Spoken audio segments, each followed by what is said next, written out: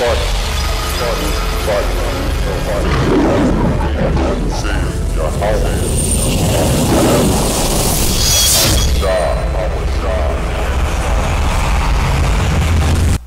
want to give all the praises and the honor to Yahweh, Bahashem, Yahweh Shah, Bahashem Rakal Hakwadash, and double honors to the apostles and the elders of Great Millstone. Okay, also sincere shalom to the uh, hopefully elect that's laboring. Okay, and um, I want to do a controversial video. Um, if it can help uh, do do a video like this is um, all videos are to edify and building up. So if it can help other brothers going through the same situation, or to help um, other camps, maybe in other states, go through the same situ that's going through the same situation, then maybe you could take heed, get into the scriptures, pray, uh, get understanding of the scriptures. Number one, uh, and first off, um, I'm going to get a scripture that kind of sum up this whole thing in confusion. Okay, um, but before that, um, again, I'm just going with the spirit. Um, this is addressing the situation here in Baltimore uh, where we have um, guys that broke off from our camp. And hey, man, the scripture says they, they can't do nothing against the truth but for the truth, uh, as long as they're still teaching the truth, okay? and we had guys that broke off from our camp um, a, little while back, and they kind of did their own thing. Okay, uh, now the reason why uh, it's a whole lot to go into, but I'm just thought you know got to follow me. Um, there's a thin line between right and wrong, so to speak. Okay, and you can cross a line to wrong. Okay, and then you can stay on the right side, so to speak. So what we have here is a situation where um, the one uh, guy that left our camp, okay, we'll say technically is a brother um, who left our camp. He's still pushing the work. He's still doing the same thing. The other guy never was in our camp. He just, you know, woke up and decided to do the work on his own, which, okay, that's fine. If that's what you want to do, again, you're not doing nothing against the truth, but for the truth. But in a sense, you're kind of coming against the truth if you're not doing it in proper order. Okay? Let all things be done decently and in order. That's not for the truth. Okay? Now, again, uh, let me get a scripture first. Uh, Matthew 18 and 15. It says, Moreover, if thy brother shall trespass against thee, go tell him his fault between thee and him alone. If he shall not hear thee, thou shalt gain thy brother. Now, again, I wasn't a witness, okay? Uh, let's go on to Matthew 18 and 16, the next verse. But if thou wilt not hear, then take uh, take with thee one or two more, and uh, that in the uh, mouth of two or three witnesses, and every word may be established. Okay, so here's the conflicting part where I'm looking at from the outside because I'm not there. I'm, I'm the uh, camp head in Baltimore, but I'm not there, so I don't understand what's going on. And all I'm saying is uh, if you again, Baltimore has a different type of spirit of people. Okay, in case brothers don't know. Okay, and guys a little more stiff-necked. Okay. Um, now, when you go to First Timothy, I'm reading these scriptures quick so I can make my point. It says, um, 1 Timothy 5 and 20, Then that sin rebuke before all that others also may fear. So now you got to go to where you draw the line. Okay, I told the brother. He didn't listen. He comes to the Passover and he just walks on out of the Passover. Uh, what you know, and I'm sure there was witnesses there. So, well, come on, man. You know, it, I, I, I would have to understand that before that even happened, there had to be some problems going on in general.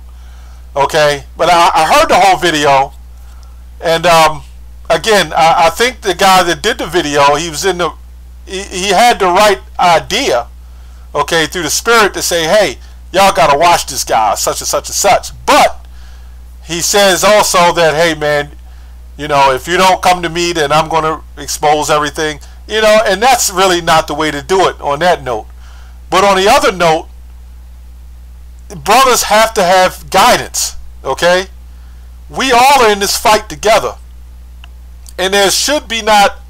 We shouldn't be really fighting one another. And when you got the so-called white man, and it, and you know it's going to happen. There's no perfect camp. There's no. Uh, you're going to have grimy niggas in GMS, man. Okay. Now again, um, you know, I've heard guys say that uh, they're not in it for men. Okay, and that's understandable. You're in it for Yahweh Shem Shah. Um, I don't. Yeah, I don't have to say say the name GMS. Okay, if you don't want to say the name GMS, but at the end of the day, we say GMS because of what the doctrine. You're giving double honors. Remember, there's a lot of guys who said double honors and were still wicked niggas. Okay, so when you say double honors, mean double honors. Number one. Number two, when you're saying uh, double honors to the apostles of Great Millstone, what you're doing is putting that banner out there to say, hey, uh, this is the doctrine that you learned from. Remember, you're trying to seek your own salvation, and anybody who thinks they're out here for the apostles to literally save them is off. Okay? Let's get that straight. So guys got to stop getting in this thing as some form of social media fan base club. And I see this. Okay? This is not what it's about, man. It's about coming out here doing the work for Yahweh Shem. But the way you're going to get the message is through men, through the spirit of Yahweh Shem. These men are delivering you the message. So if you're in Great Millstone and you're getting the message delivered to you, you supposed to give double honors and reference these men who have taught you. That's how you got the name Yahweh Shem Shah, through these men. Yahweh, Yahweh Shah, let me say that, did not beam down here and give you that name. He did not give it to you even in your sleep. Okay? Which he could have done. But the Lord is what? Not an author of confusion. Okay? Um, let's go to um, 1 Corinthians uh, 14. I'll go to 30. If anything be revealed to another that sitteth by, let the first hold this peace, for ye may also prophesy one by one, that all may learn, and all may be comforted. And the spirits of the prophets are subject to the prophets. For Yahweh is not an author of confusion, but of peace, as in the churches of all the saints. Okay? So a lot of times when you see something happen with a guy, and you, you kind of, you know, it's kind of not right. Let me sit and let me see and wait and see what's going to happen with this guy. Because a lot of this is wisdom. Okay, there's a form of wisdom and understanding when it come to this. Okay, this is why you would have a camp leader. A camp leader would be able to lay all this out for you and let you know what's going on. If, he's right, anyway, uh, he'll lay it all out for you and say what you should do and shouldn't do. I think the problem for number number four, or five, whatever you know the number is that I've been calling the fifth thing is that the fact that uh, fourth or fifth thing is the fact that there's a lot of camps here in Baltimore, man. I mean, you got different different camps, okay? And the best thing to do if you're um, in a camp and, and these these guys are younger brothers at that, you got to know if the Lord set up an order, Yahweh Shah set up an order for brothers uh, to learn. Now again, Nobody says you exactly have to be in a camp.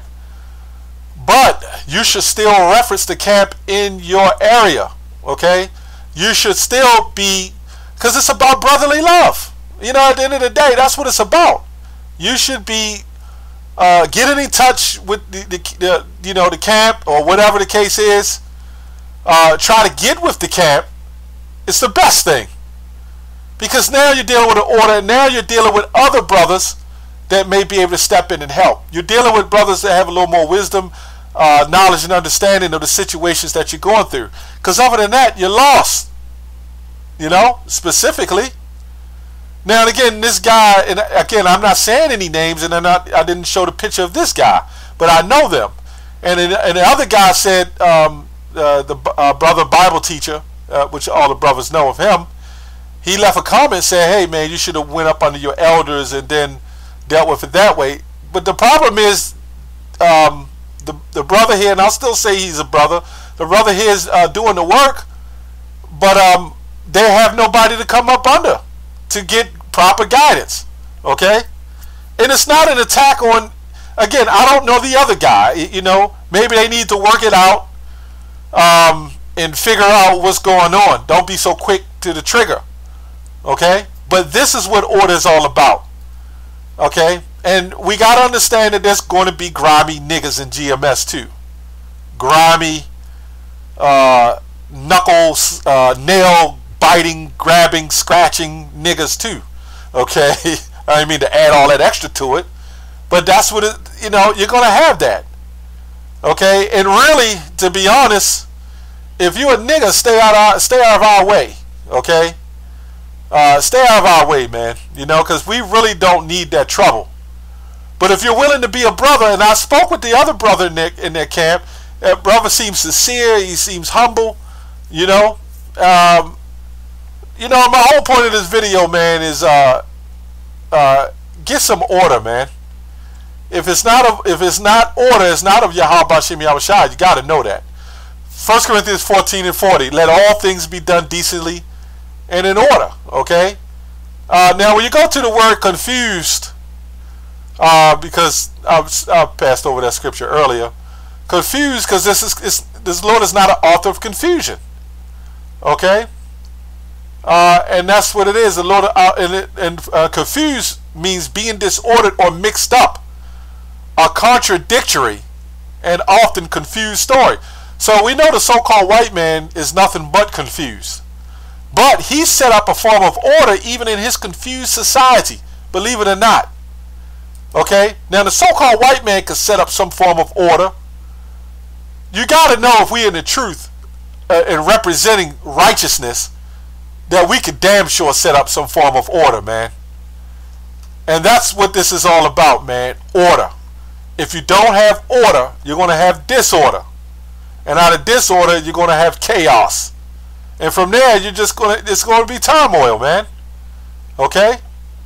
So, you, you know, there's different levels, uh, there's thin lines, there's different levels of understanding. But honestly, my the whole point of this video is if these brothers, man, came up under some form of order, and I know some of the brothers might say, hey, hey brothers, look, man, at the end of the day, uh, these guys out still doing the work week in and week out. Okay, doesn't make you a brother, obviously, but I've known a couple of them. If you get yourself in order, come under order, and get, you know what I'm saying, it'll make things a whole lot easier.